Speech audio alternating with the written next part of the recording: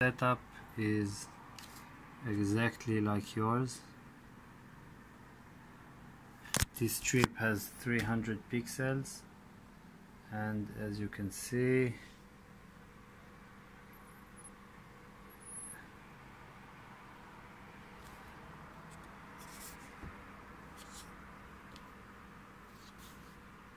each pixel is running separately and if we go to the Madrix okay this is the program going on right now. You can look in the device manager see only out one universe uh, 1 and universe 2 is on okay? As you can see it's in the IP now because it's set to universe 1 and this one is to universe 2 the computer calculates it automatically. This is why the strip runs as it should be. Okay? Now just just to make sure you understand me so you can see there's also port 2 and port 3 which is because it's gonna be here is universe 3 and universe 4 so actually they both gonna be out of port 2 in this one. So if I disconnect it and I connect the other strip you can see. Okay it's connected now to out 2 okay?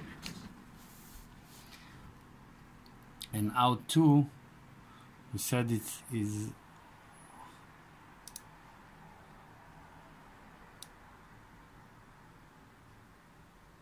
as you can see there's no effect. There's no effect because it doesn't actually get any information from the Madrix. It still stays red. So if I have to prove this point let's say we go in the middle.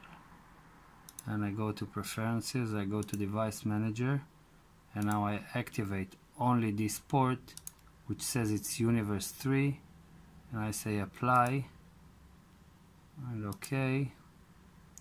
Let's look at this one. You can see only some of the strip gets affected. Okay.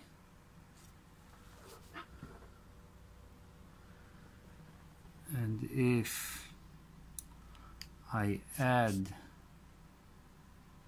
in the preferences device manager I add the other port as well and because it's universe 4 then the, it automatically knows because of what we did here it knows it's out of SPI out 2 and it's 300 pixel.